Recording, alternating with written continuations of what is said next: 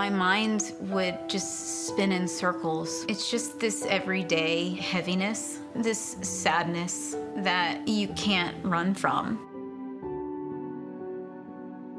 Christina and her husband Carmine were married a year and a half when they welcomed their daughter Roma into the world. It should have been one of the most joyous times of their lives, but it soon became clear that something was wrong with Carmine.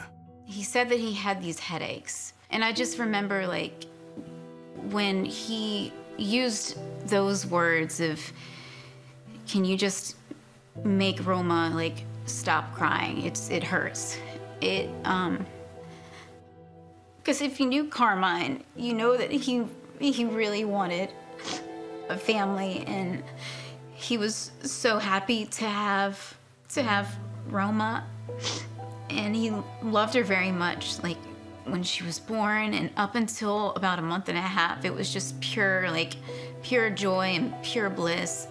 Carmine went to the doctor, but his headaches were dismissed as stress related and he returned home. The headaches only worsened in the coming days until one night Christina woke to the smell of something burning on the stove. She went downstairs to investigate, and that's when Carmine had a seizure. It all happened so fast, and I sat myself in his lap to try to control like his body movements. Christina quickly called 911. However, by the time Carmine got to the hospital, it was too late. He had suffered a severe brain abscess that caused massive swelling and bleeding. The doctor said there was nothing they could do, and he was taken off life support. I, I knew that when I left the room, it would be the last time that I'll see him, and um, I walked down the hallway. I just, I was, felt so alone. The pain of losing Carmine was overwhelming for Christina. The love of her life was gone, and she now had to raise Roma on her own. I felt unequipped. I felt nervous and and mad and angry that I had to do this on my own. Like, why me? What have I done? I literally just had a baby and we were just starting our family life together and it was just taken from me. All of those thoughts and questions flooded my mind every single day. I was raised in a Christian home and my faith was always pretty strong. Um, but it wasn't until Carmine passed away that I really leaned on God more than I ever had before. Christina prayed that God would help her and turned to encouraging verses in the Bible whenever oppressive thoughts entered her mind. I've seen people within my own family turn away from God, and I've seen firsthand what that looks like. And I did not want Roma to see me fall into that. And I have to show her what it looks like to trust God. But I chose to read my Bible and read what God said and trust that He was going to provide me with uh, the love that I needed to get me through. For the next two years, Christina struggled with the persistent grief that weighed on her heart. But then something slowly began to change within her.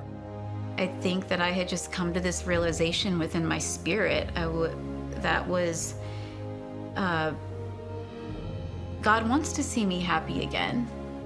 There's there is joy. I know there's joy somewhere. I felt that I was ready to find that joy.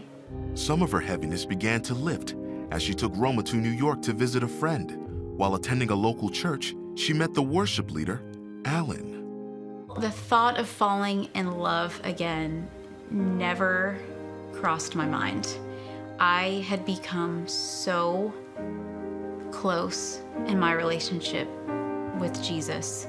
I was I was good. When I first met Alan, I noticed I, I, I noticed that there were uh, feelings there, but a part of me was I can't do that. I felt guilty because in my mind and in my heart, I was I was still married to Carmine.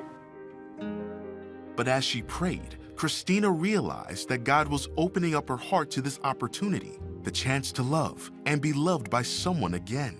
And then Roma did something that helped confirm those feelings. Roma doesn't give high fives to anybody, and she gave him a high five, and that was a pretty big deal. Christina and Alan eventually married and moved to California. Together, they've had two daughters, Brooklyn and Virginia. Along with Roma, the five of them have found peace and immense joy, which Christina credits all to God answering her prayers. God has been really good through the whole entire journey of, of my grief. He brought Alan into my life, and Roma loves him like he's her dad. And it's very special because she says all the time, I have a daddy in heaven that loves her, but she also has a daddy here that loves her just as much. Choosing to trust God doesn't take away your circumstances, but choosing to trust God does provide you everything you need to get through it. And that's exactly what He did for me.